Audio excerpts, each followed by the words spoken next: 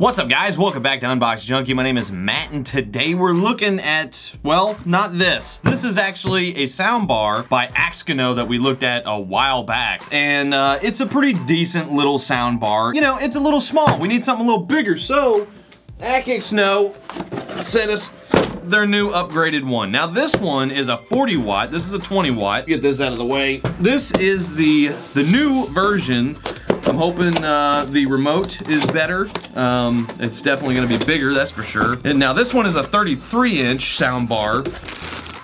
All right, we got a bat, oh, a new fancy controller too. And more cables, power, sound, there we go. All right, get that out of here. Comes with an optical cable, a power adapter, basic power adapter, and a bag with goodies instruction manual. We got a 3.5 millimeter cable, basic RCA cables, and then you actually have a mounting kit, you know, two screws and a couple drywall uh, anchors, and then the remote. Now, this remote is definitely different from the other one. They made it look like it's brushed aluminum. It isn't though, it's it's just plastic. You got your power, Bluetooth, line in, optical, auxiliary, treble down, treble up, bass down, bass up, volume, play, pause, mute, previous and next, music, dialogue, and movie. These three right here, these are for your presets for the equalizer. If you're listening to music, you switch it to that and it's gonna be geared more toward music. Maybe watching a documentary, you go to dialogue and then a, a movie will give you that more cinematic bass and, and, and, and intense sound. And conveniently, it came with batteries. Nice, I don't have to get my own. Now the speaker itself. It definitely feels heavier than the original. It's clearly a little bit bigger. Open! Ow! That hurt. Ooh. Oh, yeah. Oh, that's clean looking. Hey, that's not bad at all. Oh, yeah, you can see the drivers in there. It's definitely made out of uh, better material than the original. Here, let's get a comparison of the size. Oh, yeah.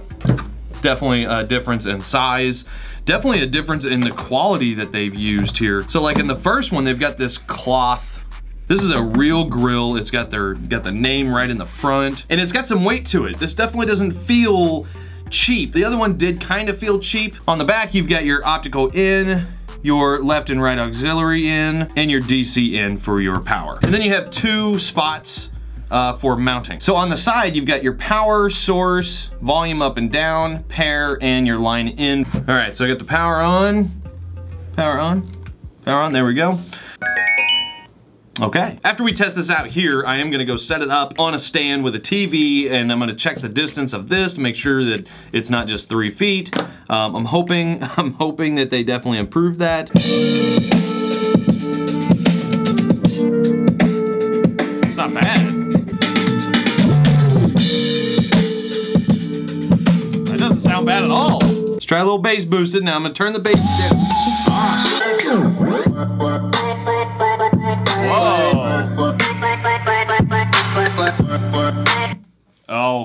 I just turn it off. That's got a nice punch! Am I yelling? That sounds pretty good. Um, okay, well let's try, let's try quality. Let's go with Good Mythical Morning as usual, all of my good mythical beasts out there. For you to watch and comment on along with other mythical beasts, so it's... And I will say that the uh, treble in the bass adjustment are great. So far, what I've been doing is just putting it on music and then adjusting the bass and treble the way I want it. Man, that's got some good sound. All right, I'm gonna do a distance check. I'm gonna take my phone with me and we'll see how long it takes to cut out. I'll be back.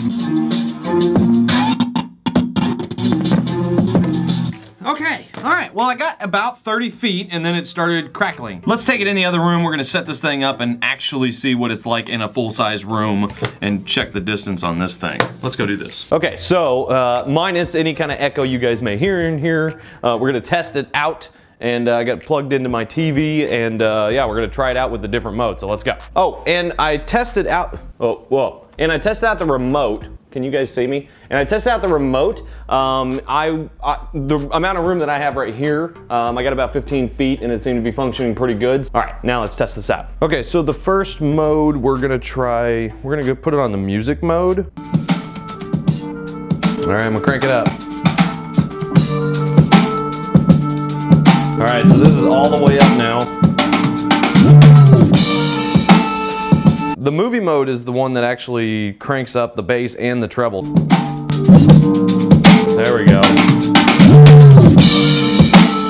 That's pretty good. The sound in here sounds really good. It's it's really filling the whole room up. I'm gonna use just the TV speakers and then I'm gonna switch it over to the sound bar. Just see how it sounds. Okay, let's go.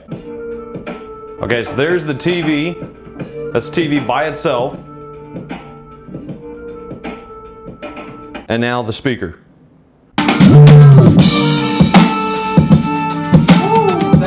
Okay, so yeah, it sounds way better than the TV speakers themselves. I'm gonna look for something theatrical. Here we go. You're in this life for good. You might wanna buckle up, baby.